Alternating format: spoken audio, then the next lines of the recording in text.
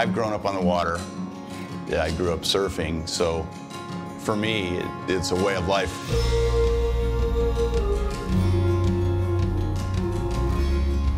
We've probably built, it's amazing, 50, 60 homes on the river. We build floating homes in Portland, Oregon.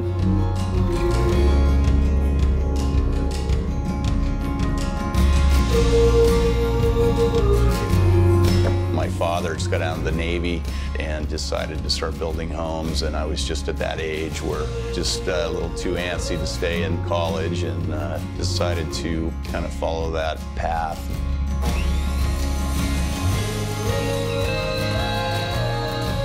We get a lot of calls from all over the country. There's not a lot of guys that do what we do. And I believe me, I would love to do other areas, but this is where we have our facility, all of our guys. We don't travel.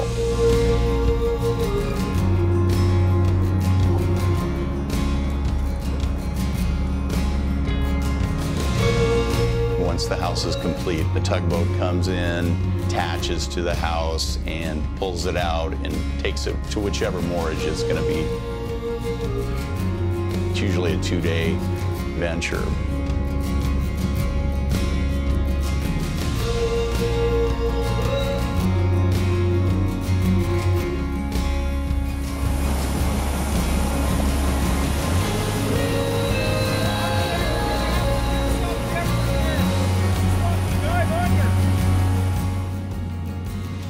It is scary because we're on the river and because of all the little things that can happen. Know, you got a brand new home coming in. You don't want to have any problems. You start building and you just keep going. And we've met all the, the old river rats that have been on the river forever. They trust what I do. And um, it's kind of a team effort.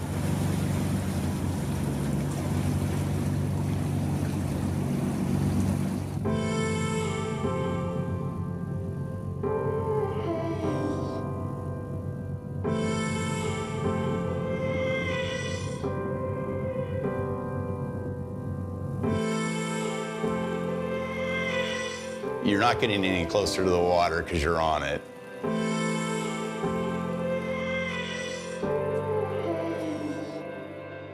These are made specifically for the people that want special things and they want a nice, beautiful home that they can enjoy.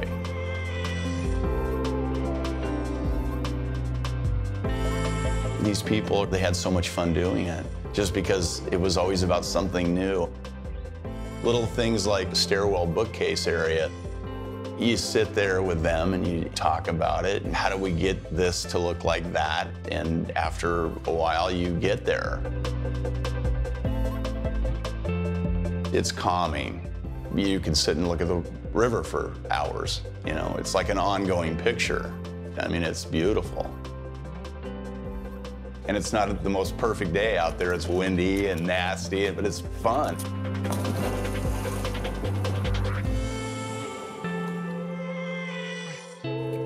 Making something and knowing that you know you and your guys have created this with the help of not only the architects and the engineers and the homeowners. At the end of the day, when you know you deliver a home, you know that's the real gratification of being a builder.